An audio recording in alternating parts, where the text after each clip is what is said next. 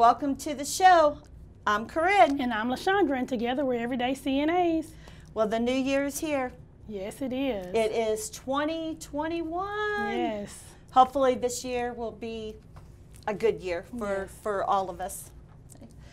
And unfortunately, we're going to start off talking about the flu because the flu season is here. It started late fall into winter, but the flu activity actually peaks between December and February and could last up until May.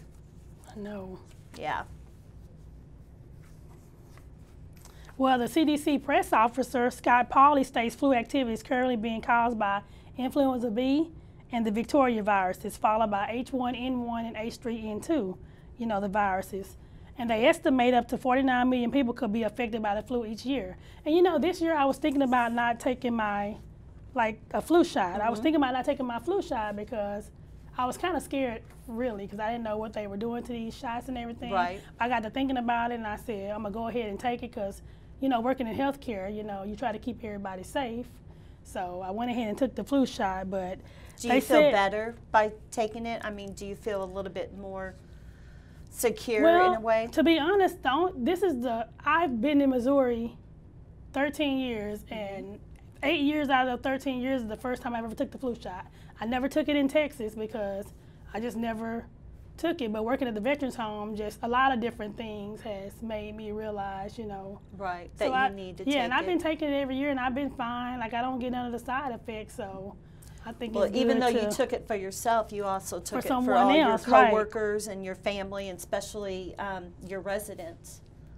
and it's only um, you know, and a flu shot will last through one flu season, just about six months, two weeks after receiving the vaccination. However, the shot is only for certain types of flus. Right, So, right. Um, we're going to go over some of the symptoms of the flu versus um, the common cold. And I'm going to get my cheat sheet here. the flu can be very abrupt. The cold can come on very gradually. You will have um, fever usually with the flu. It's rare with the cold. Aches usually with the flu, slightly with the cold.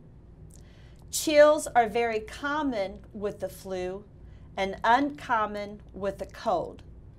Fatigue and weakness usually comes along with the flu, sometimes with the cold. Sneezing, stuffy nose, sore throat is all sometimes with the flu and very common with the cold.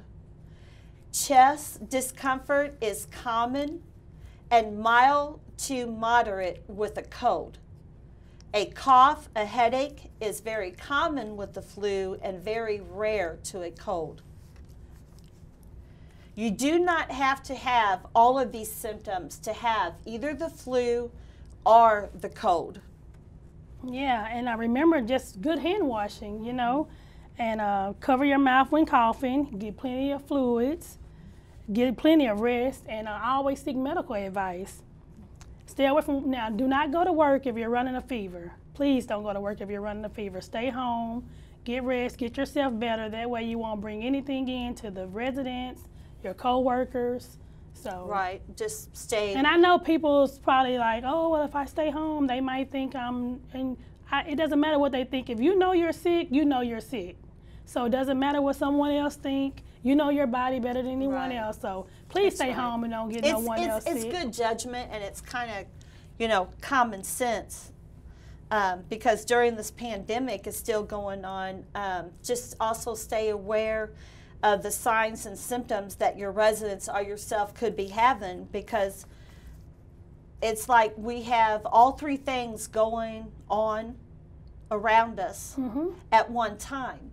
So, I mean, I get confused about what I just read off of my little card versus the flu and the cold, and Right. then you have the virus that's going around, which is can be just as deadly as the flu.